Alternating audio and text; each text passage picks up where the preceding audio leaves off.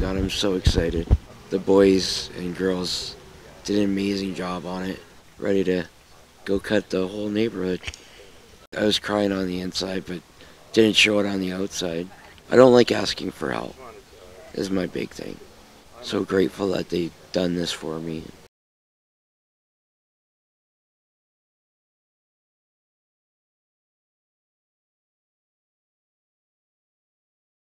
We started uh, last semester last year, so it's been about a year now since we started.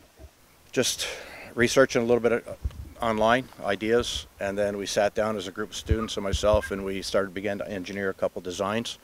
I can't say enough about the students. They never stopped. They never lost interest. They stepped up. You know, cutting grass is one thing. What's next? Maybe a snowplow?